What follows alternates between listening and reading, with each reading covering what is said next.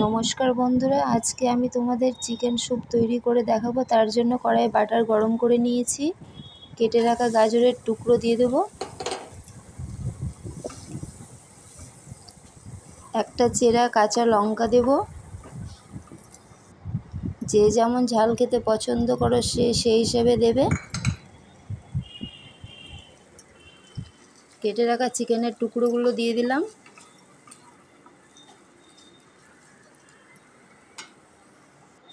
স্বাদ মতো লবণ দেব।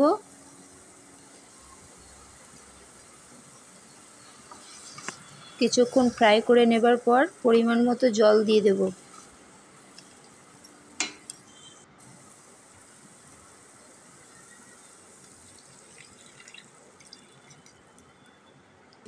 এবার কেটে রাখা পেঁয়াজের টুকরো, থেতো করে রাখা রসুন দেবো।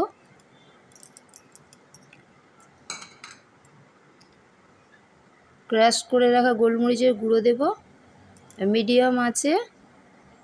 দশ মিনিটের মতো ঢাকা দিয়ে চিকেনগুলো সেদ্ধ করে নেব।